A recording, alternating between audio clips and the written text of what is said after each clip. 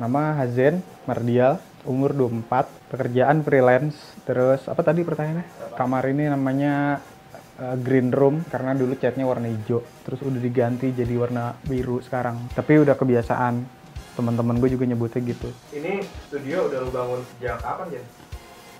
Uh, setahun lah. Belum bisa dibilang studio juga sih, cuma uh, pokoknya gue pakai ini udah setahun. Gue upgrade-nya segala macem dari tahun kemarin. Sebelum bentuknya kayak gini, dulu bentuknya gimana awal lu bikin lagu? Dulu dulu gue biasa buat lagu di kamar sebelah. Ini masih jadi kamar kakak gue. Terus semenjak dia kawin, ini jadi kamar gue. Terus lumayan lebih luas kan gue buat bangun satu-satu aja buat meja, komputernya ditaruh segala macem peralatannya gitu. Ini yang lu punya apa aja?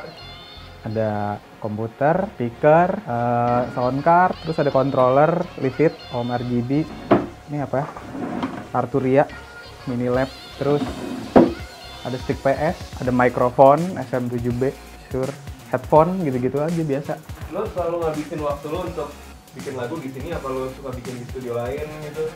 Belakangan sih pas udah jadi, ini udah ada meja di sini, gue di sini terus. Cuma kalau buat kerjaan kantor segala macem, kadang-kadang di sana kalau emang harus di sana kadang-kadang di sini kadang-kadang di mana aja sih tergantung situasi cuma kalau untuk produce project gue sendiri Mardial gue paling udah pasti di sini Album lu United States of BBM itu bikinnya di sini? ya semua 100% bikinnya di sini sama di kamar sebelah kan ada beberapa lagu yang dibuat zaman dulu paling tua ada yang dari tahun 2012 sih cuma dua lagu sih Gimana? Sisanya jadi berurutan. Sisanya semakin ke sini 2013 sampai track terakhir banget. Ya track 9 itu. 2014 Judulnya aja udah ini kan States of BBM Ada berapa BBM? 6 kalau nggak salah ya. Apa aja tuh? kayaknya ada yang 112 140 142 150 165 176 170 128 125 itu berapa berarti? Berarti setiap lagu beda-beda seingat gua. Nggak ada yang sama BPM-nya di, di remixnya DTX ada 3 BPM dalam satu lagu. Jadi bisa dihitung ada 12 lah. Kan namanya album kan ya. Dan Hmm. yang konsepnya emang BPM banyak. Genre juga lumayan colorful gitu. Nah itu lu yang bikin akhirnya lagu lu ke arah situ gimana? Kan orang tahu lagu lu tuh dulu lagu-lagu yang keras gitu. Dubstep-dubstep yang kenceng gitu. Ya Terus gue udah dengerin satu lagu lu tuh yang eh, Nanana. Ya kan lain dari yang lain sebenarnya tuh pakai Vocaloid gitu. itu tapi uh, nah lu merubah haluan itu uh, sebenarnya nggak tetap banyak juga lagu yang masih keras sih. Ya gue buat emang sifatnya lebih enak buat didengar gitu albumnya nggak monoton. Dan emang begitu gue kalau kalau apa perjalanan musiknya ya pasti bakal terus berkembang sih nggak cuman stuck aja gitu. Yang penting karakter gue masih tetap gue keep. Lu nggak takut beneran orang pendengar lu ninggalin lu kira-kira musik lu ntar? biarin aja maksud gue pendengar kan eh, hak mereka dong kan dia dia nyari hiburan gitu. Kalau sewaktu-waktu apa yang dia dengar udah nggak klop buat dia udah nggak masuk ya dia bebas. Mau mau cari yang tetap masuk atau ke mana tetap bebas lah. Gue nggak pernah takut gitu sih kalau kehilangan pendengar gitu. Soalnya biasanya kalau kehilangan ntar ada lagi yang datang gitu. Yang datang juga orang yang dengan selera yang berbeda lagi. Jadi ya gitu. People come and go lah. Ada yang datang pergi datang pergi macam-macam gitu. Inspirasi dapet dari mana gitu? Itu apa? Inspirasi dari semuanya. Semua itu sumber inspirasi sih YouTube eh, SoundCloud internet radio temen itu semua sih. Sekarang media udah beragam banget. Lu bisa dapat input dari mana pun termasuk TV sekalipun gitu. Kalau lagi setel TV atau film. Cuma kalau untuk belakangan yang paling menurut gue paling seru itu untuk untuk untuk nambah apa masukan lu gitu. SoundCloud karena dari SoundCloud itu banyak produser nggak terjamah gitu yang tapi keren. Dari situ lu bisa bisa ngelihat ternyata oh banyak loh gitu musik nggak itu itu doang. Ya nggak terjamah untuk untuk untuk jangkauan kita aja. Mungkin dia di negaranya atau di tempatnya juga banyak pendengar sering nemu sih. Di SoundCloud banyak banget yang aneh-aneh. Influence gue buat bermusik kakak gue dari kecil. Karena sekeluarga emang doyan main musik. Terus banyak. Semakin ke berkembangnya gue semakin tumbuh. Yang mungkin influence gue ya makin banyak. Begitu nonton TV gue lihat ada yang ngeband dari si band tersebut gitu sampai sekarang. Cuma yang paling pertama ya dari keluarga sebenarnya influence paling utama. Hmm. kan uh, di interview next sebelumnya lo cerita kalau itu album tadinya lo pengen EP iya. Terus lo uh, pengen uh, uh, pihak label nantang untuk uh, EP album gitu. Hmm. Nah lo untuk nyelesain dengan waktu singkat itu lo ada kualifikasi kira-kira apa yang lo butuhin Iya gue butuh sendiri paling. Jadi kalau dalam pembuatan proses kreatif harus sendiri. Sisanya kayak mixing segala macam boleh lah kalau ada temen atau segala macam atau rame gitu tetangga lagi nikahan gue masih bisa gitu. Tapi kalau misalnya untuk pembuatan gitu harus tenang dan harus malam di atas jam 9 lah kenapa dia terpilih gitu karena udah sepi. Ini udah nggak ada motor lewat udah nggak ada tetangga ngomelin anaknya. Udah nggak kedengeran. Kalau di produksi apa yang ganggu di kepala lo gitu? Oh ada kerjaan atau ah, apa gitu? Ah cewek gue yang atau apa gitu? Kerjaan sih nggak nggak bikin pusing karena kerjaannya juga bikin musik. Sama aja jadinya. Paling untuk album ini sendiri nggak ada penghalang sih kayaknya cuman lapar mau nggak mau makan ngantuk mau nggak mau tidur gitu aja. Pokoknya lancar-lancar aja lah. Kasih tunjuk project lu dong yang yang ini nih. Ini lagu yang mana nih? Ini ini Nanana. Judulnya Nanana. Lagu ke-9 di album. Eh ya terus? Review lah. Preview ya. Kita dengerin sampai tengah aja kali ya I'm the one who was watching you from far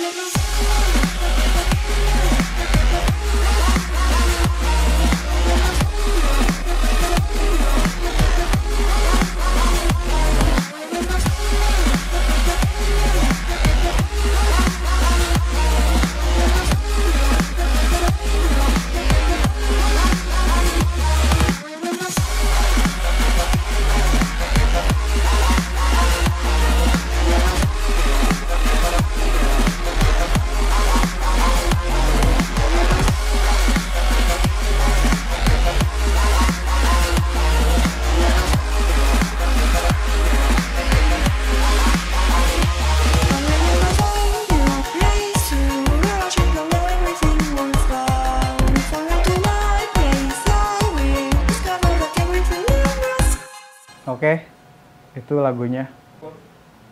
Kita sekarang kita jelasin satu persatu. Asik. Ini ada grup ini vokaloidnya I'm the one who always watching you far, far away.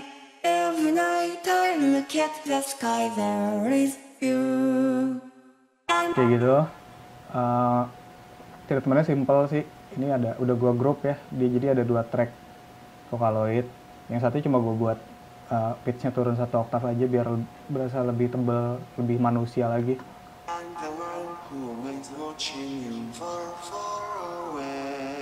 Biasa diturunkan aja transpose-nya. Sini kelihatan minus 12 minus 12 I'm the one who always ini dari da- dalam keadaan lagi gue freeze ya cuman kelihatan di sini apa aja treatmentnya. Biasa vokal mix segala macem ya kompresor EQ cuma di grupnya juga gue treatment lagi. Ada pingpong delay biar hmm, lebar segala macam. Terus equalizer ini gue khusus oh nggak nggak dipakai. Uh, kompresornya pakai bluetooth. Kompresor preset lead vokal cuman di sedikit diturunin aja thresholdnya sesuai dengan gainnya udah kayak gitu aja. terus di lagu ini dropnya bukan bassline yang sangar-sangar atau gimana tapi cuman kayak chopping vokal aja yang paling sering gue sering pakai gitu. Kayak gini.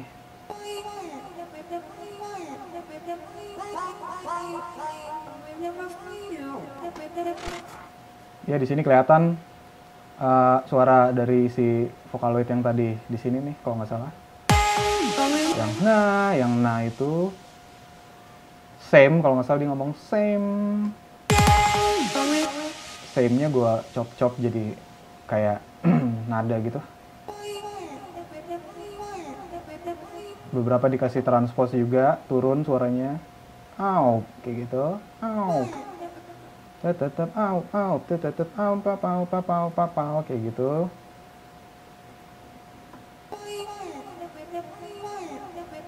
Cuma di sini suara vokalnya masih pelan kan.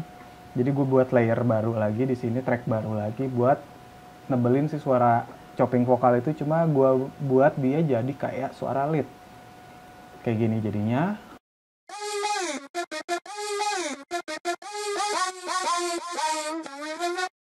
buat bikin suaranya jadi kayak gitu cuman pakai saturator aja bawaan Ableton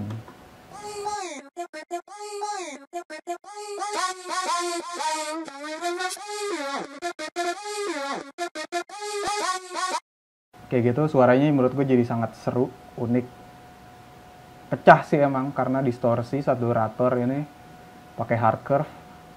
Cuma kita minimalisir aja suara pecahnya suara peaknya di sini kelihatan gue pakai multiband dynamic. Jadi gue kompres di bagian middle karena ngepick di bagian mid dari suara si saturatornya.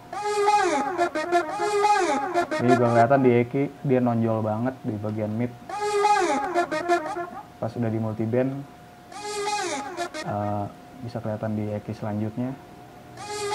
Lumayan lumayan jadi rata jadi lebih enak didengar cuma perlu banyak yang masih di cut cut lagi. Pokoknya ini fungsi dari kelanjutan dari saturatornya itu buat memperhalus jadi lebih enak. Kayak gitu. Jadi jadilah seperti ini.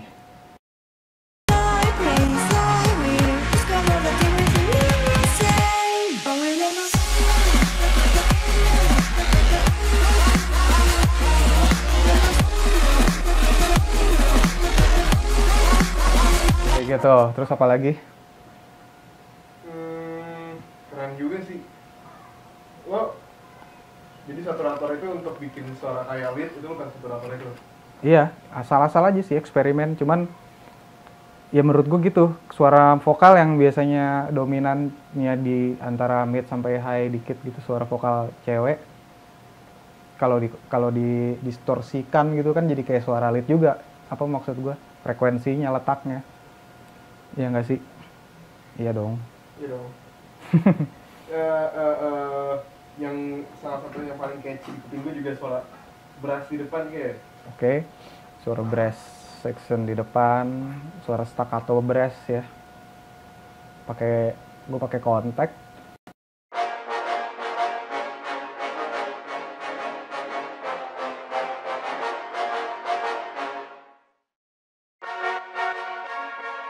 Ya di sini suara brassnya udah udah udah kena sidechain ya, kedengeran.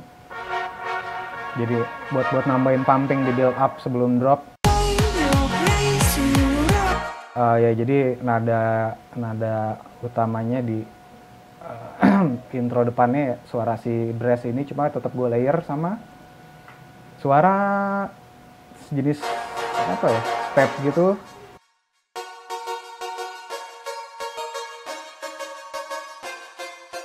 Ini gue pakai Arturia CS 80 V2 apa sih? Ya ini Arturia. Nama presetnya juga di sini horn cuman nggak nggak tahu kenapa suaranya kayak gini. Begitu di layer eh sorry. Teksturnya jadi lebih lebih imut lebih enak didengar. Terus dua-duanya gue pakai pingpong delay juga biar lebar biar ada delaynya cuma untuk si lead ini gue kasih simple delay buat ngelebarin juga yang weightnya gue fullin. Terus cuman pakai left rightnya gue bikin cuman 1 milisecond sama 12 milisecond jadi terdengar lebar. Banyak yang pakai trik ini buat ngelebarin suara ketimbang lu pakai plugins plugins buat ngelebarin. Menurut gue ini jauh lebih efektif. Ya sekarang eh, lihat kita ngintip baseline-nya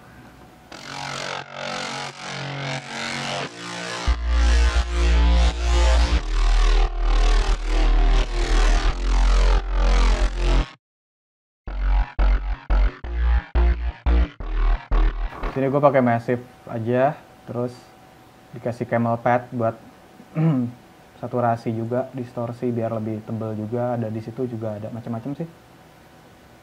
Yang gue pakai filternya dipakai sama distortionnya filternya juga gua gua routing gua automation di sini buat suaranya lebih nyau nyau gitu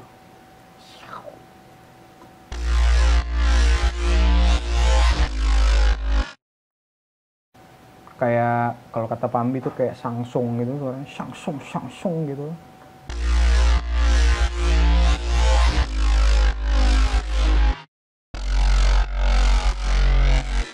Jadi treatment untuk di dropnya baseline-nya gue nggak terlalu ribet nggak terlalu nggak terlalu sangsung karena emang yang mau ditonjolin adalah suara si yang mau ditonjolin suara si vokalnya yang gue cop-cop tadi. Jadi kayak gitu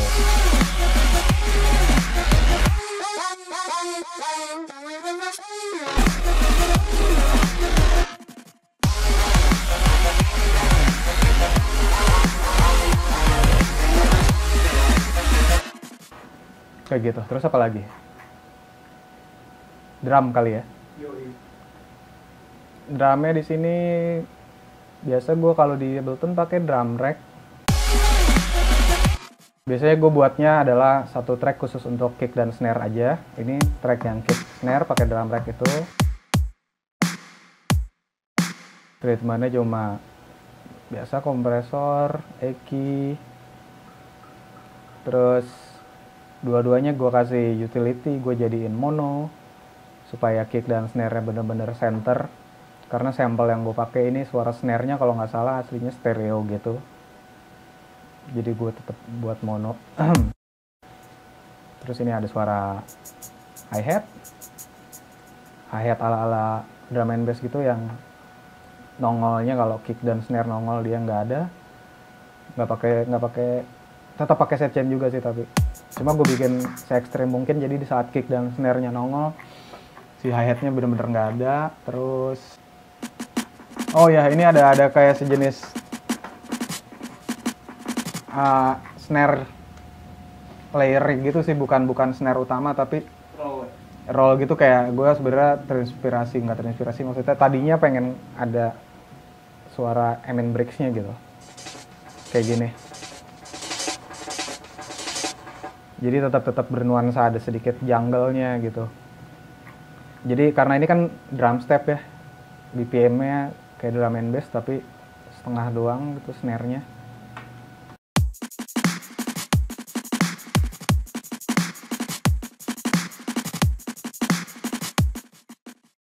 kayak gitu. Ini sebenarnya gue gua udah gue konsolidet. tadinya gue rangkai-rangkai sendiri. Seperti ketukan si Amin. Tak ketok petak tek tek tek tek seperti gitu. Stuck stuck gitu. Jadi lebih terdengar lebih galak aja sih. Lebih seru. Gue kasih simbal juga sekarang.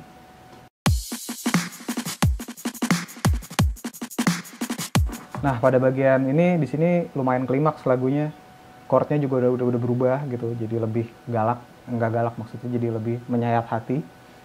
Di sini gue mainin simbalnya tetap jalan terus gitu. Jadi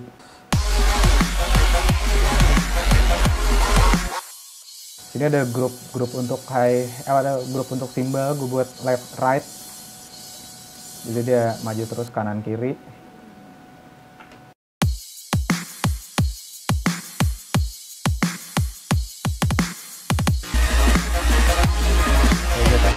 simple juga ini drumnya nggak neko-neko amat lagu ini. Nggak ada ketokan yang ribet-ribet. Terus gue juga biasa lagu elektronik eh, sangat efektif kalau dikasih white noise baik buat build up ataupun buat ngasih tahu kalau di situ bagian yang hacepnya gitu. Pecahnya di situ cus gitu. Woi white noise gokil gitu oh ini white noise berarti kita udah harus maju sob kayak gitu ini ini, ini white noise yang fade innya gitu yang masuk sebelum drop.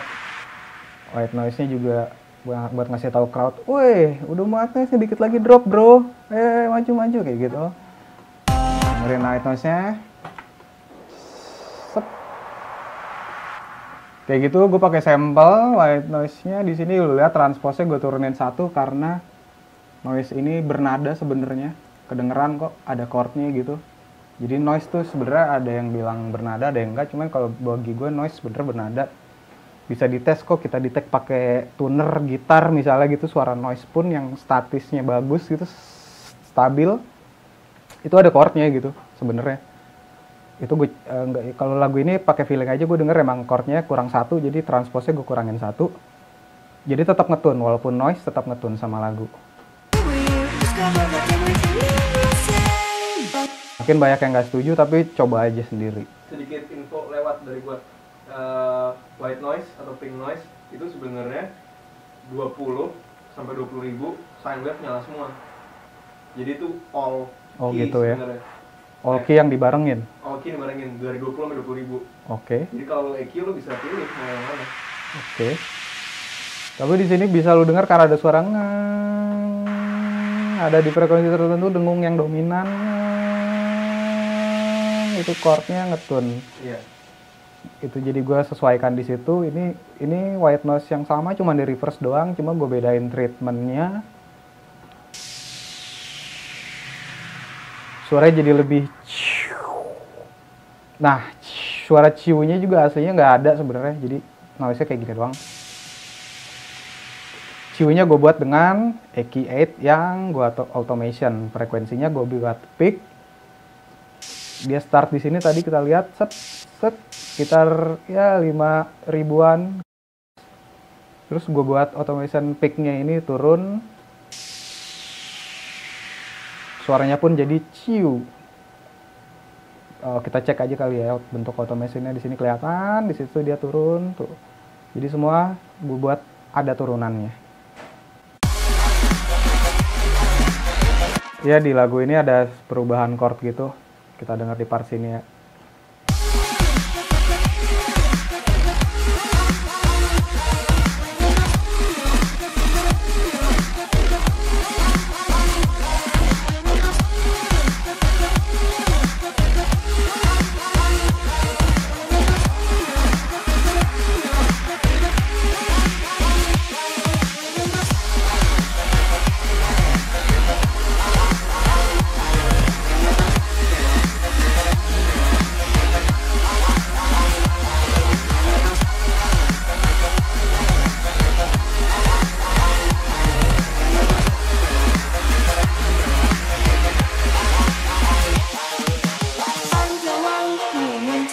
Ya gitu, jadi gue nge-build uh, emosi dari lagu ini tuh dibuat semakin ke belakang, semakin emosinya jadi lebih dalam lagi dengan cara ngerubah chord tadi yang gue bilang. Jadi kita dengar ya di sini suara bassline-nya.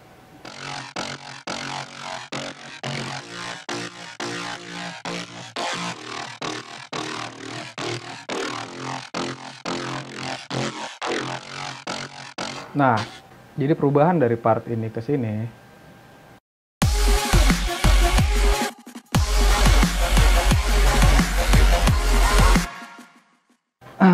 chordnya jadi terasa lebih emosional gitu. Dan di sini pun gua perkuat dengan suara bass apa brass staccato brass yang tadi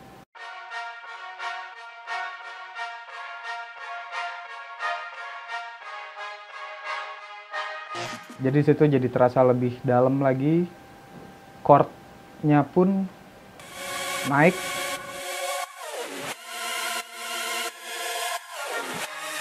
Kalau kita dengar keseluruhan dari chordnya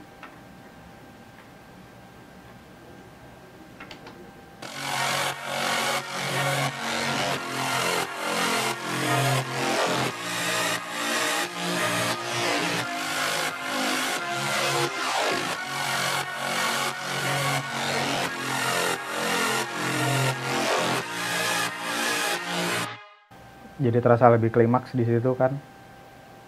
Kayak gitu. Jadi eh, buat bikin sebuah lagu gue biasanya kayak gitu perjalanannya. Semakin ke belakang semakin klimaks. Dan buat buat ngakalin buat jadi klimaks biasanya nggak nggak hanya dengan harus dengan nambah suara yang jadi lebih keras pecah atau drum atau apa rit- ritme drum yang lebih brutal tapi kita bisa ngakalin juga dengan chord. Kurang bisa ngejelasinnya gitu karena nggak terlalu ngerti teori musik tapi kayak yang tadi gue jelasin gitu di sini ada chord yang naik tapi ada juga tapi bassline-nya justru turun gitu. Terdengarnya sih nyambung sih cuma kayaknya nggak nggak masalah gitu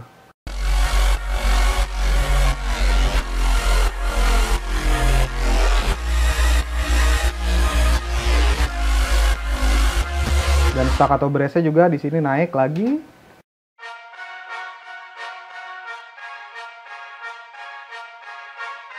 Ritmenya nggak gue bikin patah-patah kayak staccato brass yang untuk bagian depan kayak gini. Tapi gue bikin jadi lebih yang satu perempat gitu.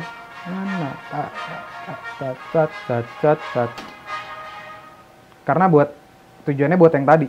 Jadi lebih dalam lagi karena kalau kalau dibuat patah-patah kayak gini tadi.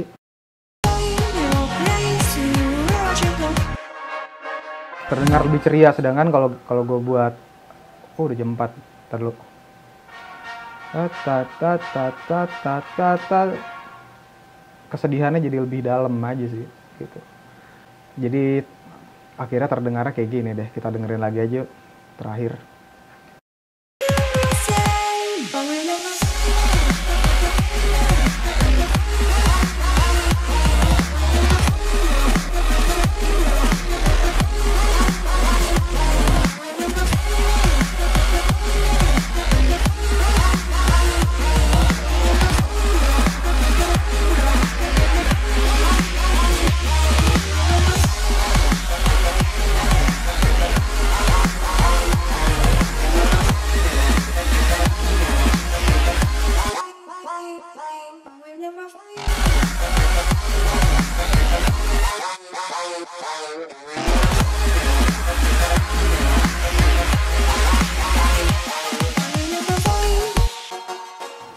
Oh ya, gue juga mau ngejelasin satu tips, tips sedikit beberapa apa teknik nggak teknik juga sih. Pokoknya trik yang sering gue pakai gitu buat bikin chord biasa tuh jadi jadi terasa lebih hidup kayak gini. Eh, Sebenarnya simpel kan, chordnya juga standar. Cuma dia gue bikin lebih seru aja masuknya dengan cara masukin suara-suara nanggung kayak gini. Jadi sebelum masuk ke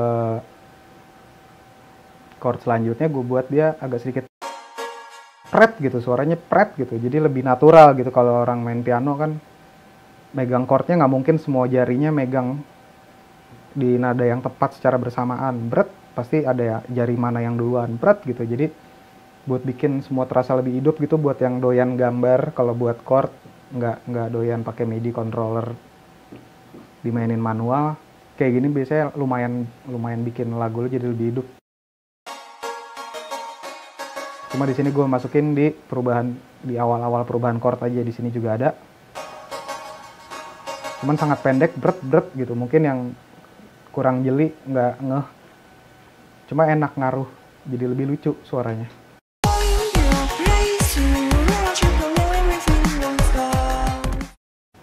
nggak cuma ngomongin EDM tapi ngomongin industri musik yang lebih luas lagi di Indonesia. Menurut lu PR-nya apa? Indonesia? Waduh. Apa ya? PR-nya ya semoga si para para para pengusaha itu pelan-pelan bisa ngasih edukasi juga gitu soal musik yang lebih luas. Jadi jangan cuma mikirin jualan ya kayak standar sih semua musisi pasti berharap kayak gitu. Sekarang udah eranya internet gitu. Kalau industri mainstream medianya nggak mendukung kita buat media sendiri aja lewat internet bisa lewat bikin pergerakan sendiri. Sebenarnya udah ba- udah jalan sejak lama sih. Makanya banyak musisi indie yang gampang bisa kedengeran pun juga mungkin dibantu sangat dibantu sama internet kan sekarang sekarang kita lebih worldwide lagi karena emang pendengar lo juga dari luar banyak hmm, menurut lo ya banyak banget kan? Ya terus? Timur juga kan juga banyak. Ya. nah worldwide menurut lo di eh, dunia di masa depan gitu dunia di masa depan tuh menurut lo apa sih yang ideal? Juga tahap yang ke tahap ideal yang ke tahap idaman gitu buat industri musiknya wah susah kalau kayak gitu. Soalnya musik tuh banyak gitu berbeda-beda. Jadi kalau kita mau samakan persepsi juga susah. Jadi nggak bakal pernah ideal lah. Industri apa pun itu hiburan seni nggak bakal ada yang namanya ideal lah pasti beda-beda lah. Maksud gue semua punya pasarnya masing-masing cuma minimal gitu orang bisa dikasih tahu kalau yang bagus nggak cuma itu itu aja.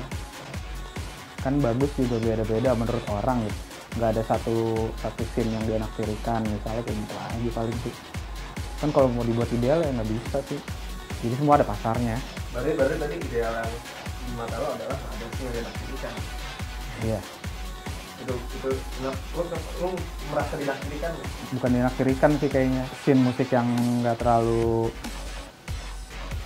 terdengar ini ya karena medianya juga nggak terlalu mau ngasih lahan gitu sih sampai-sampai jadi banyak yang bikin media sendiri kan? Dan biasanya kalau kayak uh, scene underground gitu nggak bakal dilihat sebelum ada satu tokoh yang bukan underground yang ngebawa gitu. Jadi kadang-kadang kita suka terima kasih juga sama sama artis-artis kayak Justin Bieber, Britney Spears. Itu kita sebenarnya harus terima kasih sedikit gitu karena walaupun dia dia kan terkenal pop misalnya tapi mulai-mulai masukin unsur underground kayak ada tahu-tahu di lagunya ada unsur deep house segala macem ada dubstepnya. Itu sebenarnya ada keuntungannya juga buat si underground sendiri jangan semata-mata orang undergroundnya marah-marah ngapain sih Justin Bieber main dubstep gitu. Kita ya sedikit berterima kasih karena dia jadi pelan-pelan ngenalin walaupun banyak ntar pada akhirnya banyak yang salah persepsi cuman nggak apa-apa jadi makin seru pendengar jadi lebih terbuka kupingnya. Dulu sih gue awalnya sempat kesel dengan artis pop yang ngapain sih sosokan gitu? Cuman lama-lama jadi pikir juga oke nggak apa-apa bagus. Kan musik juga ber- berubah terus. Anggap video ini terkubur ditemukan sebagai sejarah seribu tahun ke depan. Ah, lo akan ngomong ke masa depan apa? Gandalf adalah Tuhan.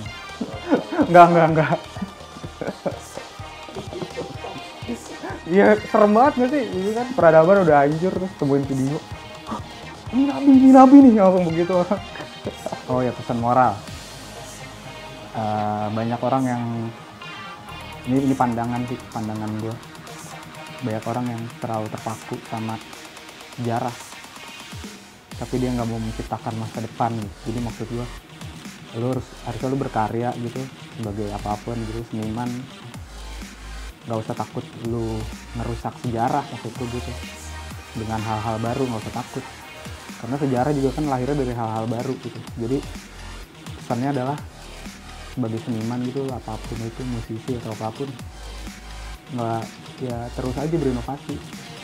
Karena banyak orang takut berinovasi karena dia takut merusak sejarah yang udah ada. Takut merusak kultur atau scene gitu seandainya dia nggak diterima oleh scene tertentu yang dia buat itu karyanya yang nggak diterima nggak apa-apa. Bikin aja bikin scene baru juga nggak apa-apa karena mungkin suatu saat lu yang jadi sejarah lu jadi masa depannya. Gitu. Pesan moral adalah. Nggak usah takut